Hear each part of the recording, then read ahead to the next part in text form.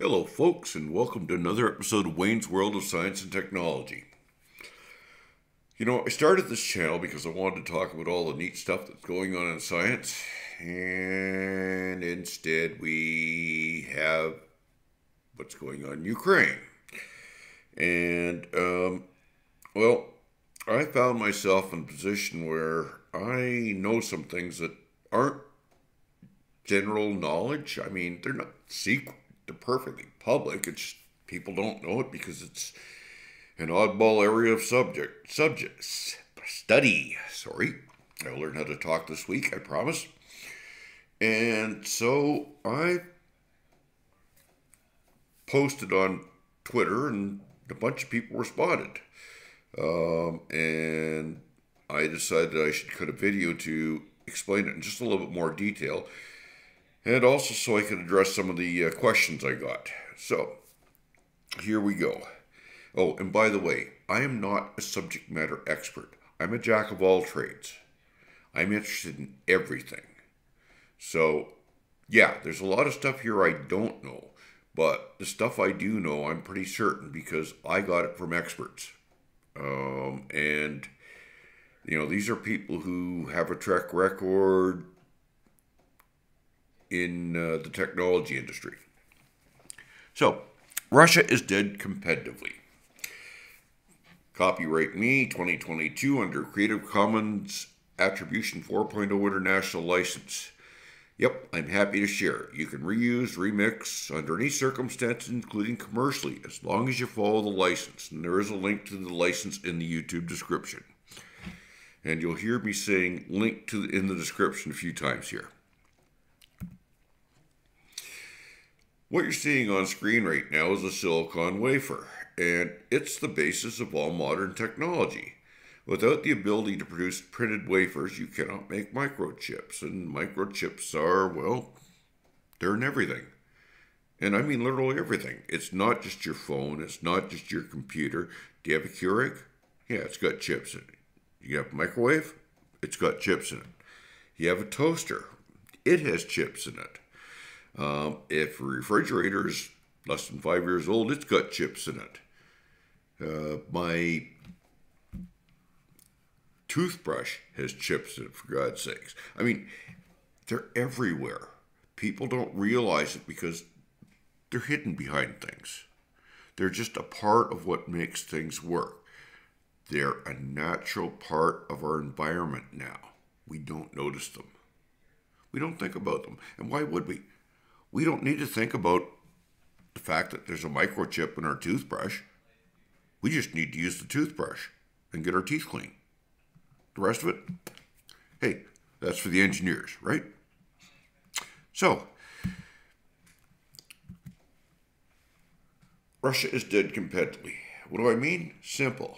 Because microchips are the basis of today's society. That's why they're dead competitively.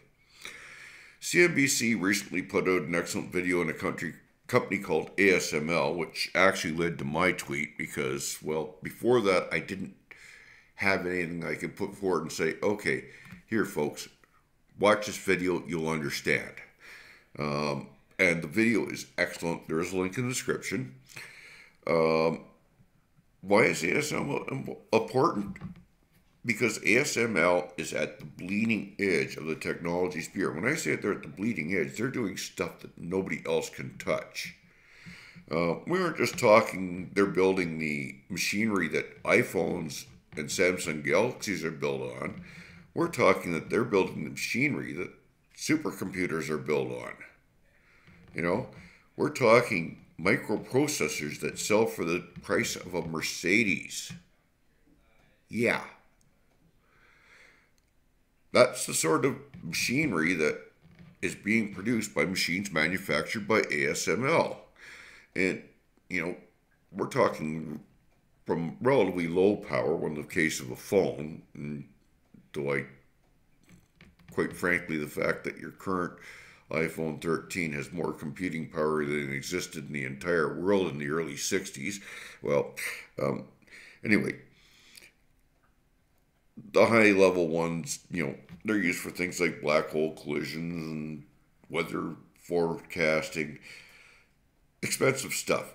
You know, ASML provides the machines that make all of these chips, all the advanced ones. ASML is the only company capable of producing the high end production equipment. They've only actually produced 140 of the top end ones. Yeah, just think of that 140 in the entire world. Russia has none. China has none.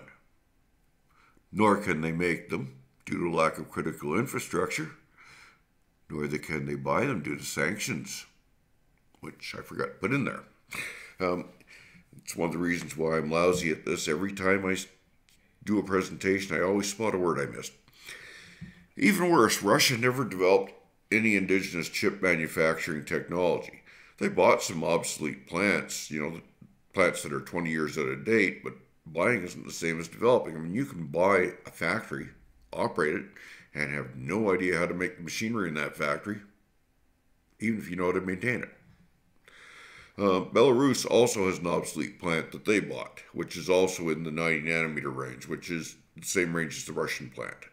90 nanometers is an important number because 90 nanometers is where things start getting uh, difficult in chip design. Or I should say in chip manufacturing. The design doesn't get any worse, but the manufacturing gets a lot worse at that point. Uh, both Russia and China have tried to move below 90 nanometers. Russia has at least one test fab which has produced some 65 nanometer parts, and China can produce some 28 nanometer parts now. Uh, as a contrast, top end TSMC, TSMC chips are coming in at 4 nanometers, so Samsung, and I think Intel's at 5 or something like that. It's really, you know, we're talking the lower the number, the better.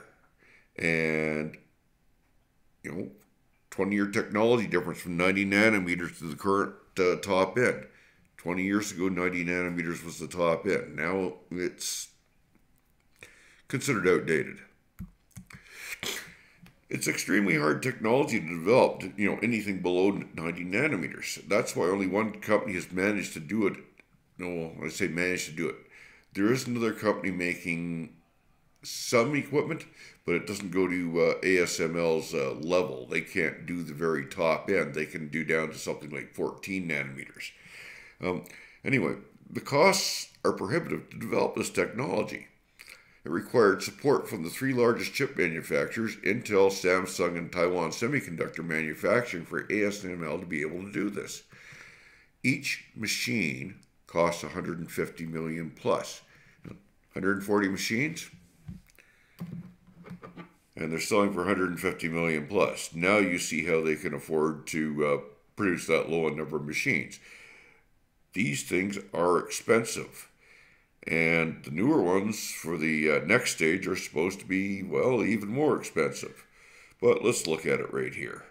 We've got that's $21 billion worth of sales on those 14 machines. Uh, just for comparison, Russia has a total gross domestic product of 1.9 trillion or 1.9 billion. So this is just about a bit more than 10% of that uh, gross domestic product that uh, ASML has sold in these uh, big machines.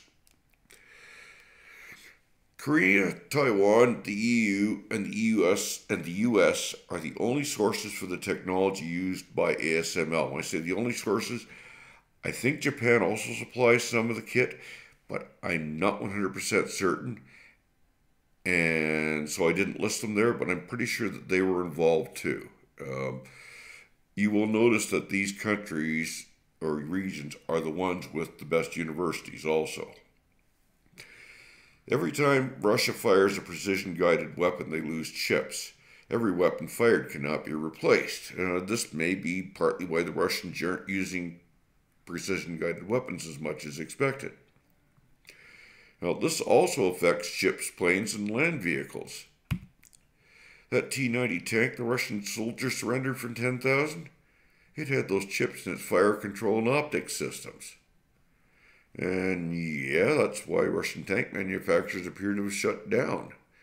They can probably build late Soviet gear, but nothing more modern because they can't get the chips. And oh, by the way, the sensor systems also tend to be chip based to a certain extent. So, yeah, the sensor systems are off, uh, they're not obtainable either. The aircraft carrier Admiral Kuznetsov was supposed to get new radars, but hey, no chips. Those fancy Su 57 stealth fighters, no chips. For radar, fire control, missiles, nada. They have just become white elephants. And what about all those countries buying Russian arms? Well, let's just say that India is really regretting not buying Western weaponry right now. So are a lot of countries because the deliveries have stopped dead and can't restart. Russia can't buy the parts needed to ship to, to export the stuff. Uh, of course, even if they could actually afford to export it, they probably need this machinery for their own war. Uh, we may see some countries that start using Western technology to upgrade Russian equipment. You know, I mean, they have will have to, and that'll be an even worse hit to the Russian economy as they lose more of their military business. And some companies like uh, Saab are probably going to see a lot of extra sales. And well, France's Dassault is also going to see a lot of extra sales because you got people whose airplanes are old and they need replacement. You got people whose tanks are old and need replacement. They can't buy Russian, or well, they can buy Russian, but Russian isn't effective in combat. They aren't going to buy Russian. Bye bye Russian defense industry. And one thing that everybody always says is, oh, yeah, but Russia can buy microchips under the table. the thing is, they can't really. Russia can't sneak chips through a third party vendor. Intel, Samsung, and TSMC know what the current Russian designs look like. They all would have been asked to quote. Making minor changes to design won't work. Computers are developed quotes and they catch stuff like this. A sanctions regime requires checks like that, as a matter of fact. And let's face it, none of these countries, companies is going to bust sanctions. They can't afford to. In fact, I can guarantee you that all these countries are extremely peeved at Russia. Neon is used in microchip manufacturing, and Ukraine supplies 50% of it. I don't think there's a single microchip manufacturer on the planet that wants to talk to Russia right now. The inability to purchase or manufacture advanced electronics will cause a massive drop in efficiency of every part of the country, uh, not just the armed forces. Everything that uses microprocessors in Russia now is at risk of catastrophic failure. Trains, I mean, hey, think of the signaling system going out. That's a catastrophic failure. Uh, planes, well, maybe part of your navigation system goes out and you have to make an emergency landing, or maybe ground control radar is having problems seeing you and telling you where you are. And of course, automobiles. Automobiles don't tend to be quite as catastrophic unless you call having your engine quit in the middle of Siberia in minus 40 Fahrenheit or minus 40 Celsius, since it's the same weather. Uh, a walk in the park. If you call it a walk in the park, then you're having your car break down in the middle of Siberia is a great idea. Russia's also cut off from the software vendors who provide the tools to work at, develop, at developing advanced technologies. When current licenses die, they can't be replaced. That kills all the CAD stations and anything else that works on a yearly software, software licensing model. And damn near all engineering software works on yearly software licensing models. That's if it doesn't work on monthly. Even worse, the software used to develop the microchips is all Western designed. Uh, never mind that most of the CAD software is Western designed too, but hey, he, there, there are some open source CAD solutions out there that Russia could try and use. They just don't aren't as full featured. So all the software used to develop the Western the microchips is Western design and subject to sanctions. How do you design a complex microchip without software? Software. Simple. You don't. The best chips that, Russia can optimistically make now are 20 years out of date. We're talking PlayStation 2 era power, old style Blackberry or pre iPhone levels of power in handhelds, Pentium 4 and desktops You remember the Pentium 4? Wish I didn't. Uh, mind you, the tech's still useful. No technology truly dies out. It's good enough to control a toaster, or, well, for that matter, even use an old style, you know, power an old style computer. One with limited function. But a current, you know, single board Raspberry Pi that you can buy for day today for less than fifty dollars is at least twenty times more powerful than the original BlackBerry, and the original BlackBerry cost seven hundred dollars when new. Now, remember what I said about software licenses? The usual time to redesign a chip for a different fabrication plant is six to twelve months. Yeah, you can't just copy it over. Each specific plant, each specific type of manufacturing setup is different. And you know, when I say that between companies, if you go to TSMC, all the TSMC 7 or TSMC 4 plants will be the same. But if you're going to take it from a TSMC 7 to a Samsung 7, you'll have to redesign it. And so we're talking usual time to redesign a chip is 6 to 12 months.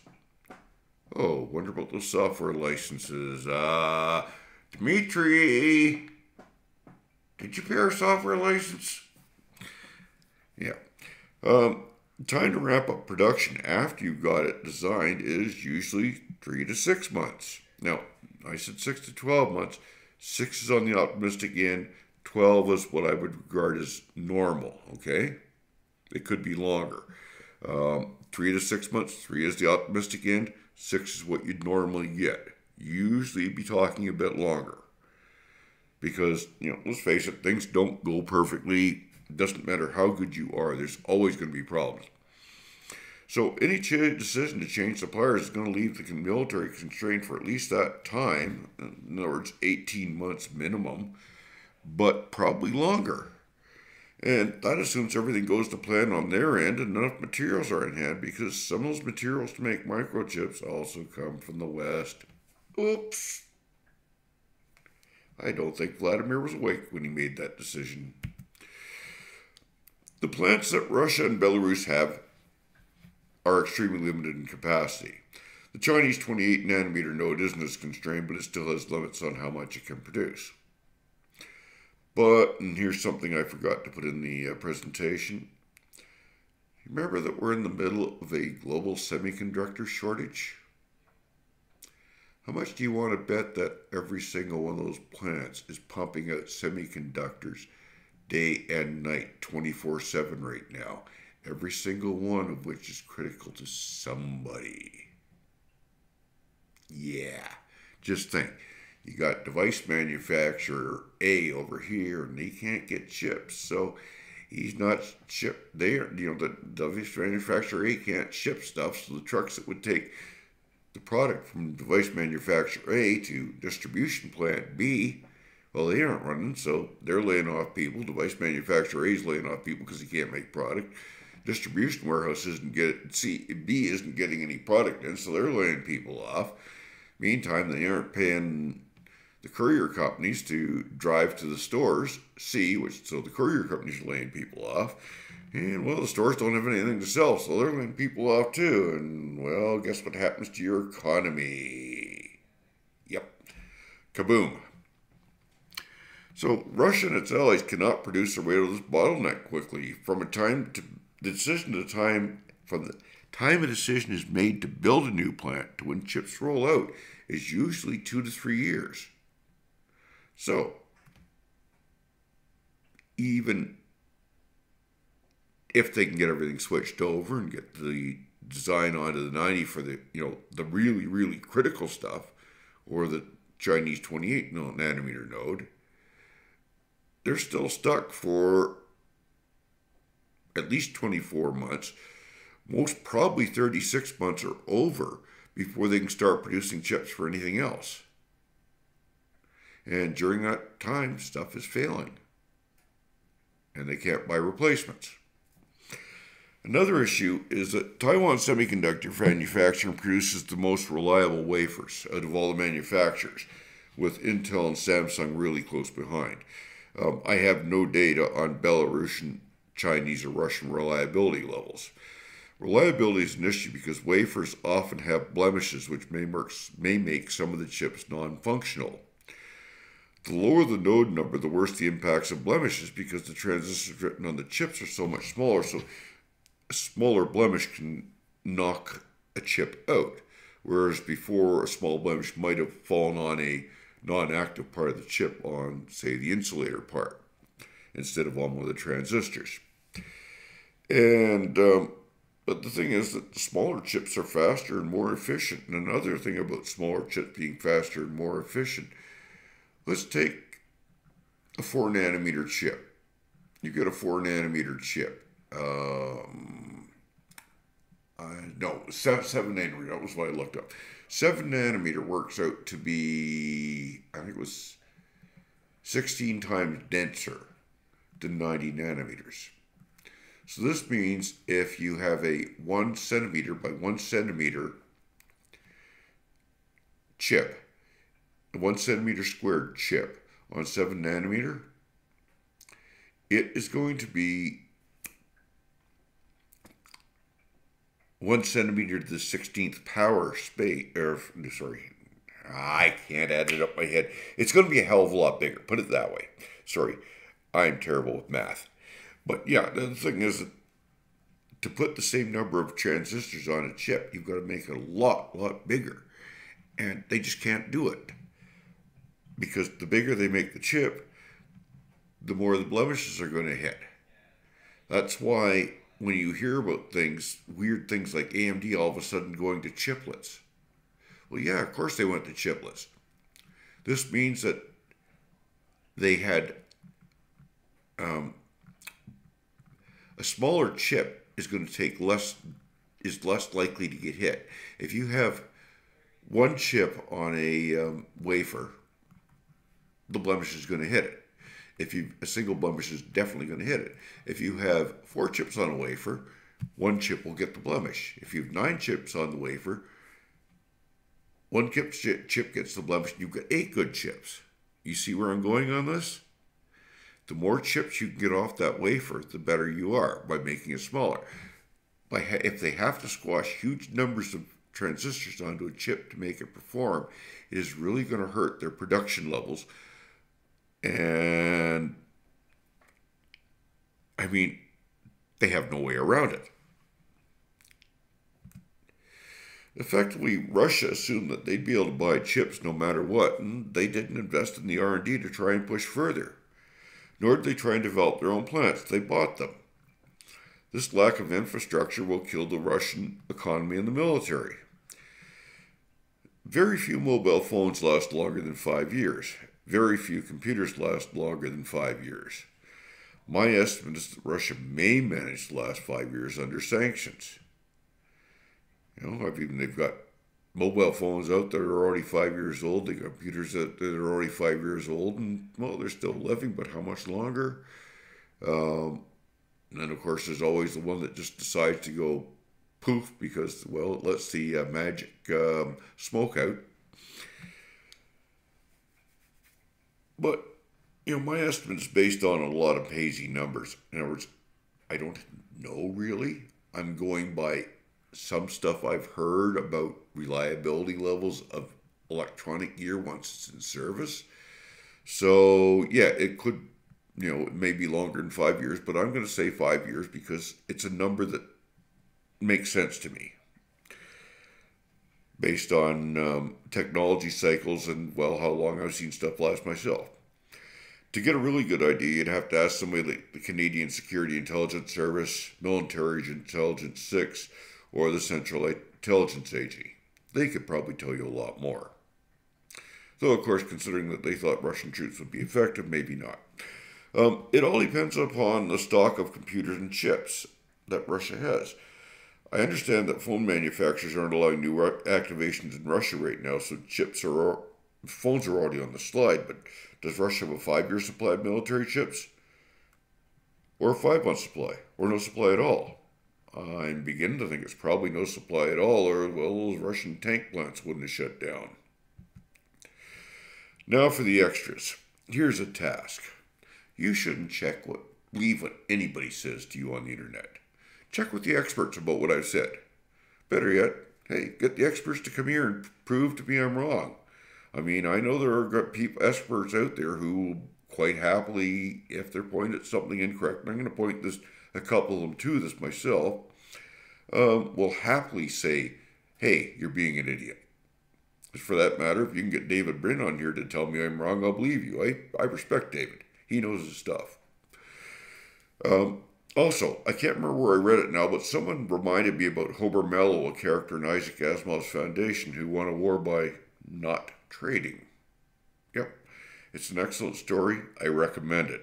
I think you'll see the um, parallels between what I'm talking about and the uh, Mallow strategy. And from the vast number of comments I've gotten, I've dug up some additional pieces of information. Ukraine is currently a major producer of neon gas. Neon is an element number 10 on the periodic table. Um, neon is extremely rare in Earth's atmosphere. It is used in science and also in microchip manufacturing. There's been a lot of fear over neon gas supplies, but according to CNBC, Forbes, and Business Insider, the three companies that use ASML machine have three to months twelve sorry three to twelve months stock on hand. That Ukraine does not supply all of the neon, so even if a minimum, even if one of those companies only has three months, the odds are that they're going to be able to continue going for considerable time beyond that. Now, neon is a byproduct of steelmaking. Any country with a large steelmaking industry could, in theory, produce neon. Um, I don't have any idea how long that would take to get up and running. You'd need an expert. ASML and the chip manufacturers became fully aware of the fragility of the supply chain for neon when Russia invaded Crimea and the Donbass in 2014. Since then, ASML claims to have reduced neon consumption by 90% in their machines. I have been told that for years manufacturers routinely vented neon after use, but 2014 changed things and recycling has become more common. Yep, reuse, reuse, recycle. I think that this is what ASML's done is add the recycling uh, system, but my knowledge of the tech is superficial, just to know just enough to know how the basics work. In closing, Russia has really severe problems in this area. It isn't a problem that they can buy their way out of or build their way out of. Um, inability to obtain microchips is an extinction level event for an advanced technological society. And yeah, if you've seen some of what China's been um, doing by being very, very non committal, they're scared of being cut off too. If you go to China, and I've been there, you'll see all the CAD stations are all running Western software. Think about it.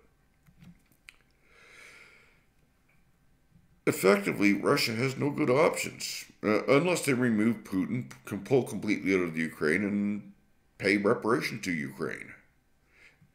And when I say pull fully out of Ukraine, I mean we're probably talking we're talking Crimea and Donbass too.